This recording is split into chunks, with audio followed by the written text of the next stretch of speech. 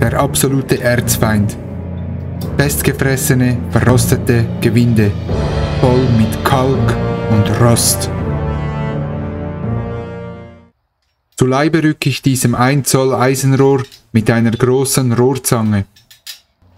Egal wie sehr ich mich anstrenge, das Eisenrohr bewegt sich kein Millimeter aus dem Gewinde. Die Technik, die ich euch gleich zeige, könnt ihr für alle metallenen Gewinde nehmen. Nehmt die Technik jedoch nicht, wenn irgendwelche Kunststoffkomponenten verbaut sind. Das ist unsere heutige Wunderwaffe, ein ganz einfacher Gasbrenner mit einer Gaskartusche. Dieser hier hat eine integrierte Zündung und man kann ihn sehr flexibel einsetzen.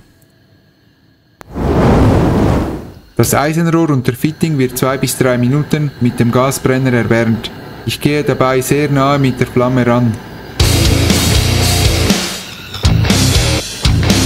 So wie vorhin sollte es bei euch nicht aussehen. Das passiert, wenn man die Gaskartusche nicht aufrecht gehalten hat. 2 bis 3 Minuten erwärmen sollten in der Regel reichen. Durch das Erhitzen dehnt sich das Metall aus. Lasst das Gewinde nachher kurz abkühlen, so zieht sich das Metall wieder zusammen. Durch diese thermische Bewegung löst sich das Gewinde. So einfach kann es sein.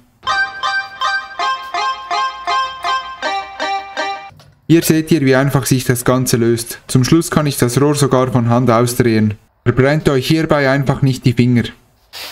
Mit so einem Brenner könnt ihr praktisch jedes Gewinde lösen. Hier seht ihr noch, wie stark verrostet und verkalkt das Rohr von innen war. Wenn dir das Video geholfen hat, freue ich mich über ein Like und ein Abo.